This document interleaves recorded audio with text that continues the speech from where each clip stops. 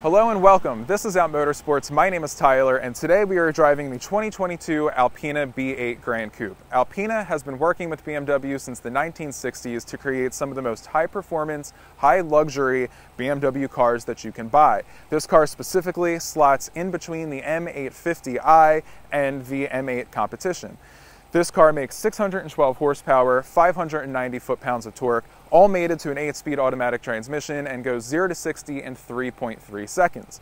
Some other Alpina touches include the 22-inch wheels, the classic Alpina front bumper. They've added bigger intercoolers in order to achieve more power, and of course the Alpina revised suspension. So how does it all drive? Let's go see.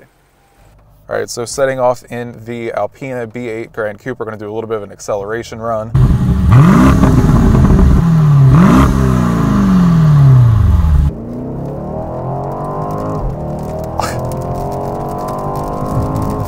I mean, it's not slow.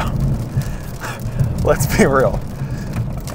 Um, it's rainy and it's hard for me to really push anything. Not that I'd be doing that on the street anyway. Uh, but it's apparent that this is a 600 horsepower car. Alpina has very unique paddle shifters that are kind of hard to get used to if you've never used them before. This is my first time using them, and they're actually just kind of little like rubber buttons on the back.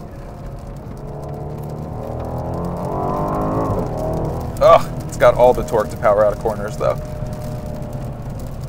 So one of the things that Alpina has done to make more power on this engine other than just turning up the boost is giving it more cooling capacity. Turbocharged engines need bigger intercoolers to be able to reliably make power and they have given this car 50% larger intercoolers that are specific to the Alpina, chucking it through these corners. The suspension is reactive, but it's not crazy stiff or overly harsh on these bumpy roads. There's a lot of imperfections in these mountain roads, uh, and this soaks them up very well. The steering is incredibly direct. You tip it in and it changes direction.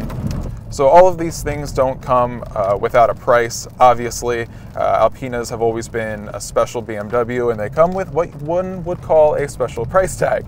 This car starts at $140,000 and as tested, we're in a $150,000 car. The M850 uh, is roughly a $90,000 car and the M8 is somewhere even below this. So it's no lie that it's harder for Alpina to do what Alpina is known to do all vehicles, all cars now are just straight up luxurious when they leave the showroom floor. Uh, Alp- BMW specifically have extended leather options from the factory. That's not specifically an Alpina thing. However, it comes standard on this car and it is a nice touch. But you can get them on regular BMWs now. So, what do you get for your extra money? Things like the gauge cluster are different colors. You have the Alpina logo on the steering wheel, the crystal shift knob, the extended leather along the center console, like I said.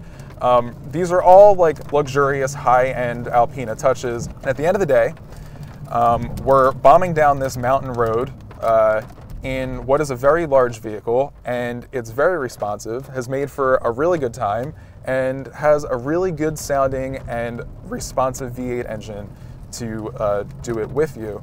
Um, so as much as we would love to spend some more time in this car, and we hope that we do in the future, uh, this has been a really fun first look at the Alpina B8 Gran Coupe, and uh, as expected, it is a very impressive car uh, on many fronts. So as always, thank you guys for watching, and I hope to see you next time.